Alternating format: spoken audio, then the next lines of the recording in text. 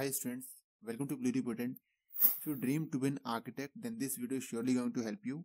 In this video, we will discuss about the NATA brochure that is released for the session 2024 and there are major changes that has been done in 2024 brochure.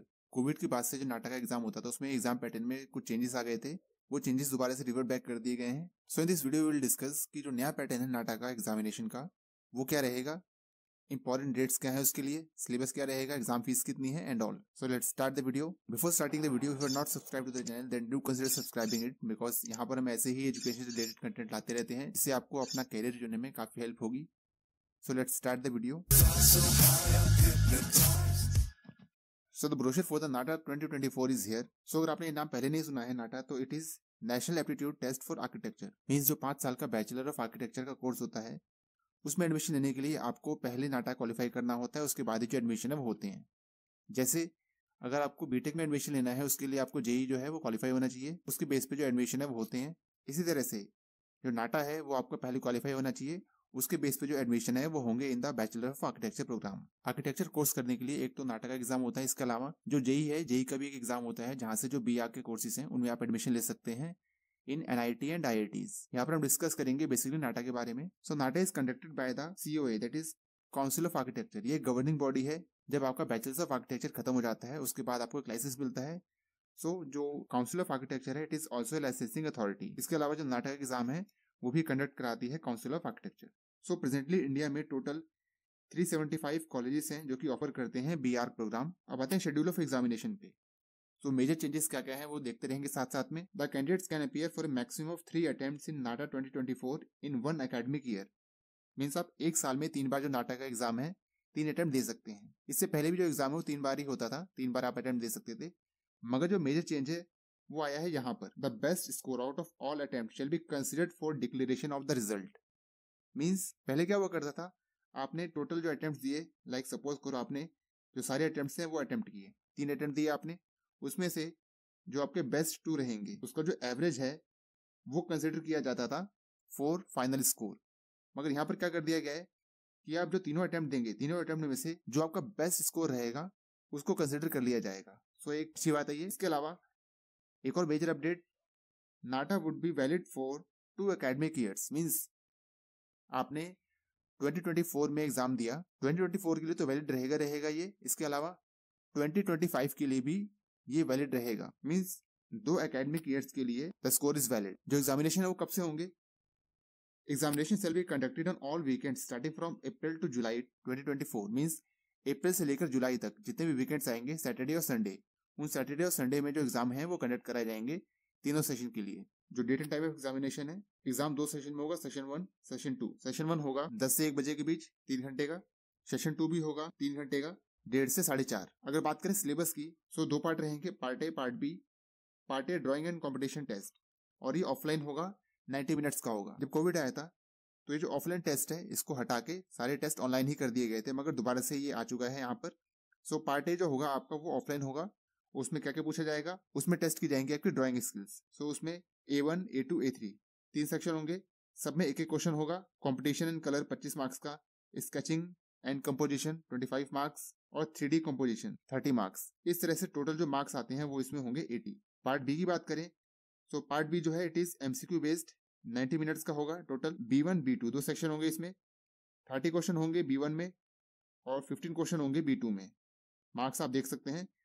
तो total marks होगा one twenty इस तरह से total marks part A और part B दोनों को मिला के बन जाते हैं टू हंड्रेड तीन घंटे का टेस्ट और two hundred marks next the medium of the aptitude test shall be in English and Hindi इससे पहले जो एग्ज़ाम हुआ करते थे, उसमें जो मीडियम रहता था दैट इज़ ओनली इंग्लिश मगर इस साल से जो हिंदी मीडियम है, उसमें भी क्वेश्चन आए करेंगे। जो सिलेबस की डिटेल्स है, वो आप देख सकते हैं।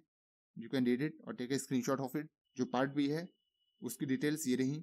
It include visual reasoning logical derivation GK architecture design language interpretation design sensitivity design thinking numerical ability next major change in eligibility criteria इससे पहले के जो नाटक एग्ज़ाम हुआ करते थे, उसमें या तो आप ट्वेल्थ अपीरिंग है या आप ट्वेल्थ पास है, उस केस में आप नाटक एग्ज़ाम दे सकते थे।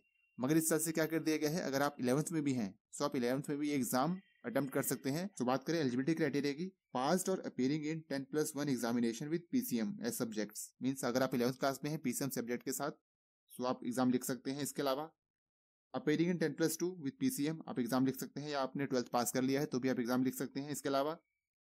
अगर आपने डिप्लोमा किया है ten plus three tenth class के बाद तीन साल का डिप्लोमा होता है, अगर आपने डिप्लोमा किया है विद मैथमेटिक्स एज सब्जेक्ट तो उस केस में भी जो आप एग्ज़ाम है नाटा का, वो लिख सकते हैं। इसके अलावा नेक्स्ट इंपॉर्टेंट पार्ट आपके फिजिक्स केमिस्ट्री और मैथमेटिक्स इसमें आपके एटलीस्ट फिफ्टी परसेंट मार्क्स तो होने ही चाहिए एज एग्रीगेट इसके अलावा, अगर आप डिप्लोमा की बात करें तो आपने डिप्लोमा किया है तो डिप्लोमा में भी आपके मार्क्स कम से कम फिफ्टी परसेंट तो होने ही चाहिए। जो एप्लीकेशन फॉर्म की फिलिंग है that will be start from first of March एक मार्च से जो फॉर्म की फिलिंग है, वो स्टार्ट होगी ब्रोशर जो है वो काफ़ी पहले आ चुका है क्योंकि बहुत सारे मेजर चेंजेस हो गए हैं इस बार।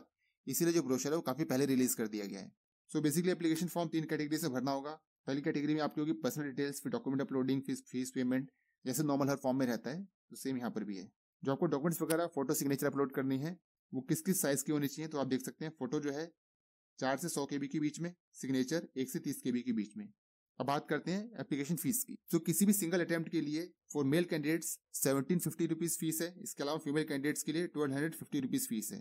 जो रिज़र्व कैटेगरी है, उनके लिए मेल्स के लिए ट्वेल्व फिफ्टी और फीमेल्स के लिए वन थाउज़ेंड सब्सिक्वेंटली अगर आप दो अटेम्प्ट देना चाहते हैं तो उनके लिए फ़ीस आप यहाँ देख सकते हैं। इसके अलावा अगर आप सारे अटेम्प्ट करना चाहते हैं तो टोटल फ़ीस आपको पे करनी पड़ेगी forty five hundred rupees for male three thousand rupees for females and reserve categories for male three thousand and for females it is twenty five 2500 for transgender you can see the fees here candidates from outside india can also fill the form for one attempt it is 10000 for two attempts it is 18000 for three attempts it is 25000 next important चीज़ आ जाती है qualifying criteria so the qualifying marks for NATA 2024 would be based on these rules तो ये तीन rules हैं इनके base पे जो क्वालिफाइंग क्राइटेरिया है वो डिसाइड किया जाएगा जो आपका सेक्शन ए होगा सेक्शन ए जो 80 मार्क्स का था और जो सेक्शन बी होगा जो 120 मार्क्स का था सो आपके 80 में से एटलीस्ट 20 मार्क्स तो आने ही चाहिए।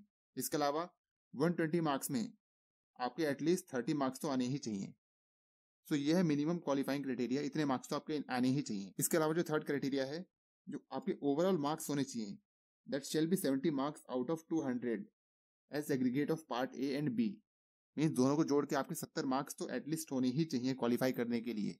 लाइक सपोज़ करो आपने जो पार्ट ए है उसमें पंद्रह मार्क्स स्कोर किए और जो पार्ट बी है उसमें आपने एटी मार्क्स स्कोर कर लिए। तो भी आप क्वालिफाई नहीं कर पाओगे, क्योंकि आपने पार्ट ए को क्वालिफाई नहीं किया। तो मिनिमम इतने तो रहने ही चाहिए और एग्रीगेट आपके सत्तर से ऊपर बनने चाहिए। वैलिडिटी आपको बता ही दी है मेजर चेंज आया है इसमें। NATA score is valid for two academic year from 2024 ये आप देख सकते हैं टाइम का schedule so this is about the details regarding the NATA 2024 काफ़ी मेजर चेंजेस हुए हैं एग्ज़ाम में, इसीलिए जो ब्रोशर है काफ़ी पहले आ चुका है। So that one can be familiar with all the changes that has happen ऐसे ही इंटरेस्टिंग एजुकेशन अपडेट्स पाने के लिए सब्सक्राइब करें द रिपोर्टेंट को and share with your friends thanks for watching see you next video